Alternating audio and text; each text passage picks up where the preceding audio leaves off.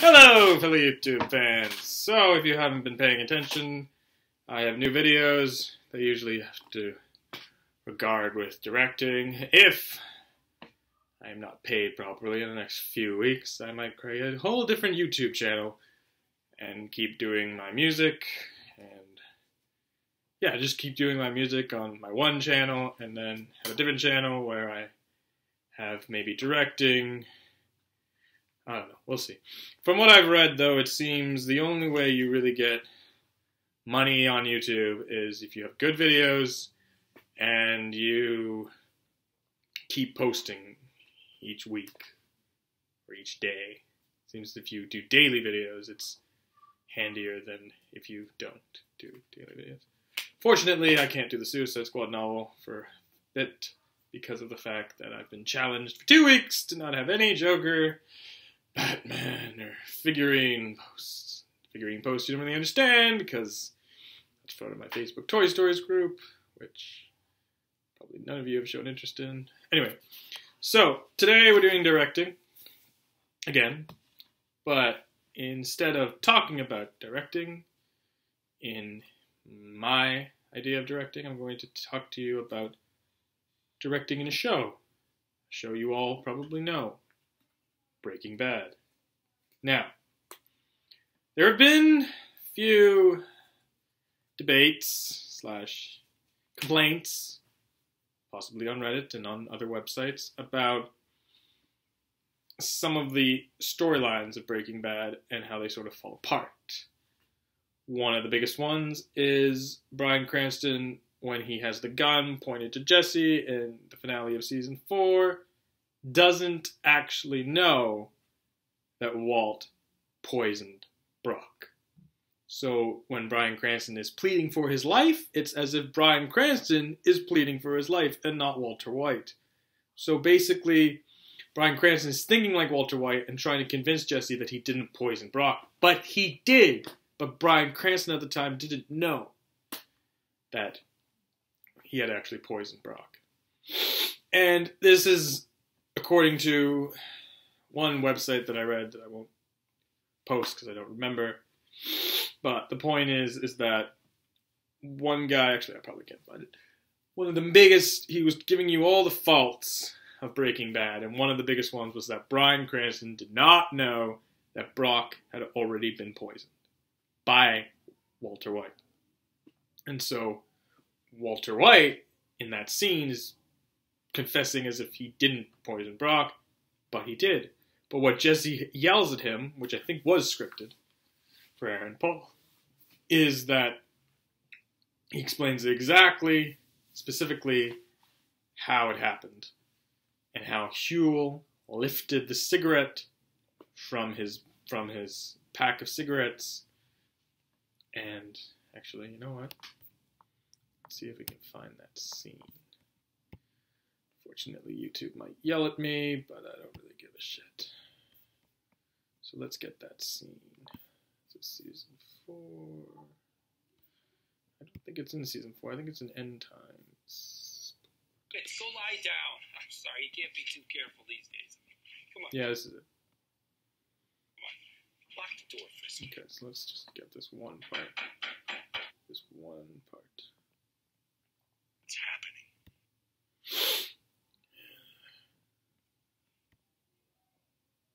I switched the cigarette into a new pack. There we go. And only you and I were the only two people on Earth who knew about it. Now, wait a minute. Wait a minute. Maybe he went into your pockets. No! I had it. I had the cigarette with the ricin, in my pack this morning. Just in case you don't understand last- who he is, I think it's Gus, because Brian I Cranston is trying no to argue who the, these people are. the Gus No, point. please. Okay, uh, that's Brock. And, and he was he was poisoned. The ricin! He's dying because What's amazing about it to him. this scene is this is Bryan Cranston's like actual look of shock. Like he has no idea that he actually poisoned him. And so the problem is, is then you have to say that he's acting over top of acting because he's playing Bryan Cranston. Sorry, he's playing Walter White, who doesn't know that he actually poisoned Brock, but he actually did. So it's like three layers of characters he's playing because it's like Bryan Cranston has to pretend Bryan Cranston is playing Walter White, who he thinks is unsure. I mean, not unsure. He was positive that he didn't poison Brock, but he's actually doing a whole new layer because Walter White knows he poisoned Brock and it's making Jesse believe that he didn't poison Brock. It's brilliant acting, but ironically, Bryan Cranston didn't know that he was actually that Jesse was telling the truth, basically. And only you and I were the only two people on Earth who knew about it. Now wait a minute. Wait a minute. Maybe he went into your pockets. No! I had it. I had this Okay, so he is Brock in, in this sense. cigarette with the ricin, in my pack this morning. The last time I saw Brock was last night, and this morning I switched the cigarette into a new pack. There's no way Brock took it himself. Jesse, you're not thinking clearly. Listen, you, you said it yourself that you had it this morning. Then when could I have possibly gotten it? You, you had Saul do it. Yeah, yeah. I went to his office. He called me and just had to see me today. His big man mountain bodyguard patted me down. That's when he must have sold off of me, right? That's the plan. Was that the plan? So the argument here is that yes, Jesse, that was the plan. The problem, though, is this: if you watch this clip, which I don't need to play because you could find, and I'll I'll link you with the clip anyway. It's impossible in the scene that Huell, who I should give you the actor's name just so you know.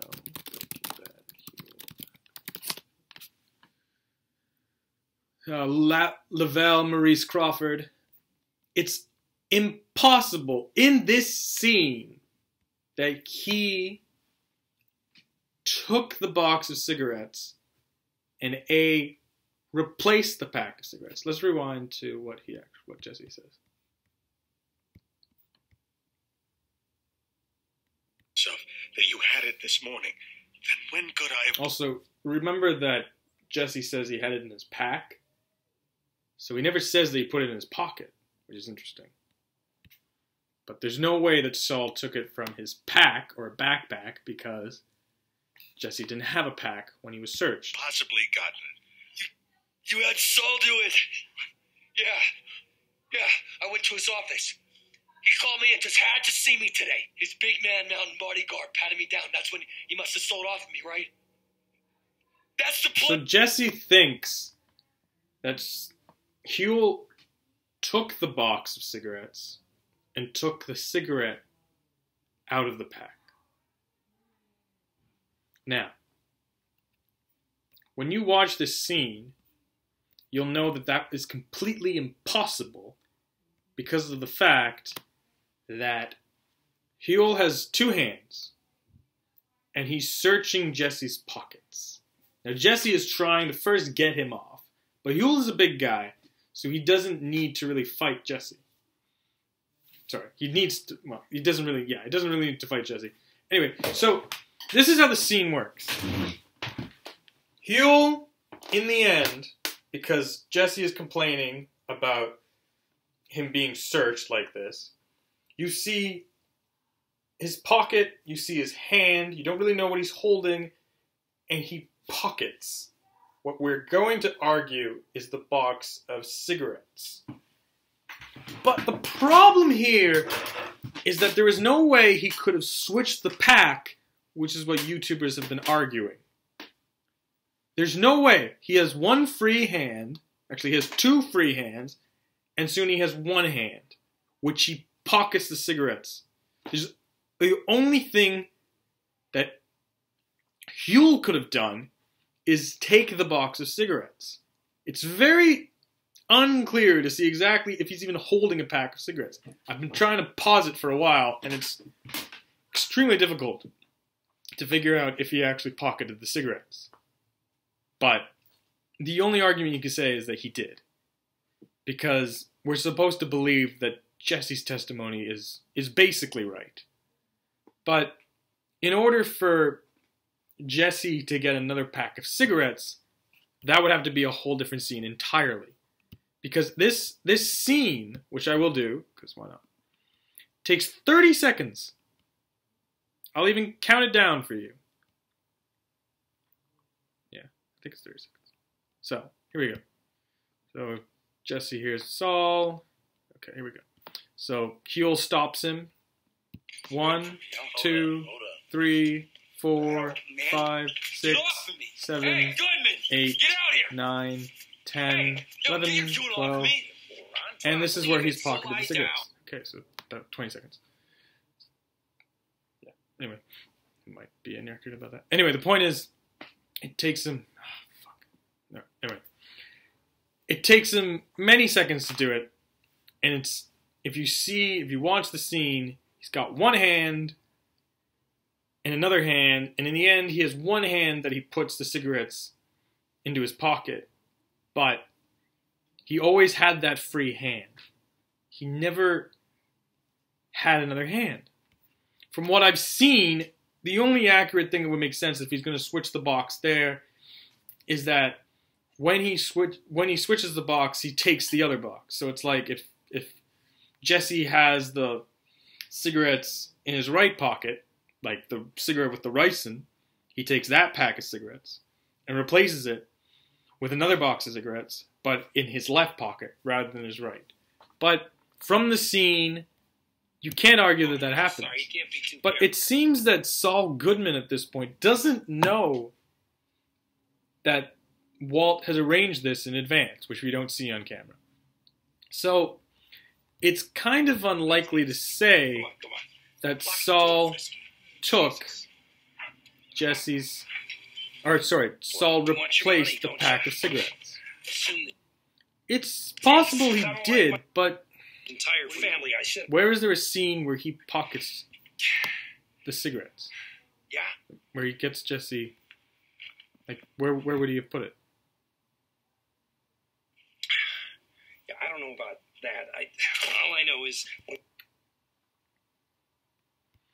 Like the he, the only real interaction he has, physical interaction he has, is he, take a break, HT. Let's go. You're gonna stop calling me that, or I'm gonna hang you by your tie. he pats his back. I'm sorry, these videos don't actually there aren't actually videos. It's just audio. But, door, yeah, just pats his back or touches his back. Take a break, HT. Let's go. You're gonna stop calling me that, or I'm gonna hang you by your tie. Yeah, yeah. Stop showing off for the client. Honey tits. I say it's endearing. So, what's so important? Well, they're here. The end times, kid. EA just happened to like rate us. Talking about it. Forget it. I mean, he, he exaggerates, right? He does that. Hey, listen, do me a favor. Would, you put in a good word for me with Fring? I mean, just for old time's sake. There's no time I can't that Saul go down the wrong could have replaced the cigarettes. Yeah? He walks out, and that's it. And then the next scene is Jesse trying to light the cigarettes. Now, where does he get the cigarettes? I wonder. What's wrong with him? Or does he even?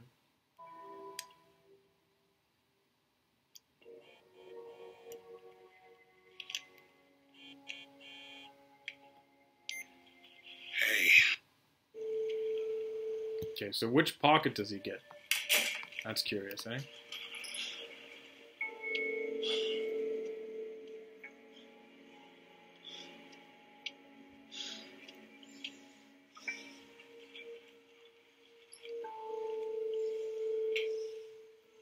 No. We don't actually see him take the box of cigarettes out of his, his, his pocket. That's interesting.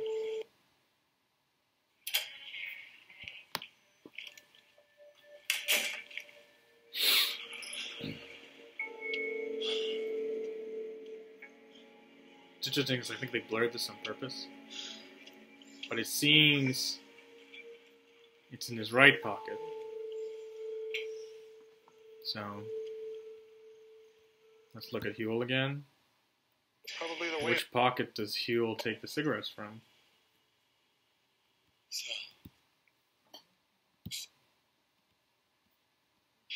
Drop, leave it, go lie Okay, so that was his right.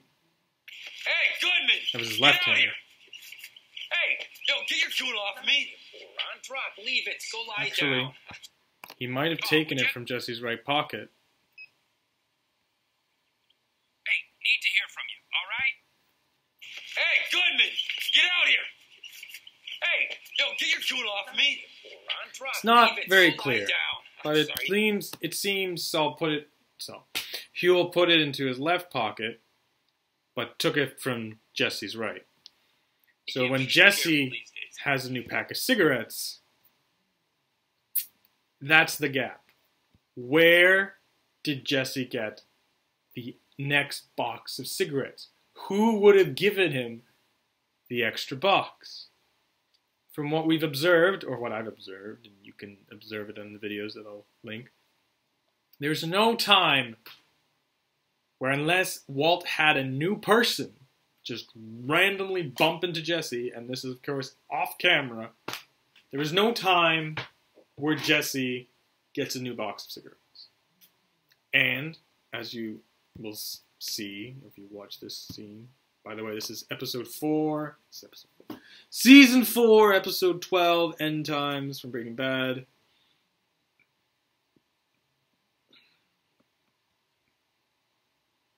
When he discovers the box of cigarettes, what's interesting is he notices.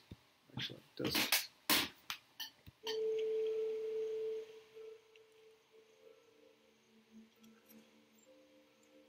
But then again, he smokes a lot, so he can't figure out what cigarette um, it would be in. Of course, if you're a real diehard fan you really pay attention to this show like I do, he flipped the cigarette over so he knew which one he would not take. So the one that's facing upwards rather than below, like all the other cigarettes, um, he wouldn't is, is is the cigarette, and none of those cigarettes are facing upwards. So you already know something's off there. But Jesse just thinks he accidentally flipped it, and so he's trying to unravel all of the cigarettes and finds out that none of the cigarettes have the ricin in them. What Walt does to the cigarette is very clever. And anyway, I don't need, he actually puts it in the um in in the machine that apparently is like the best vacuum cleaner you've ever met in your life.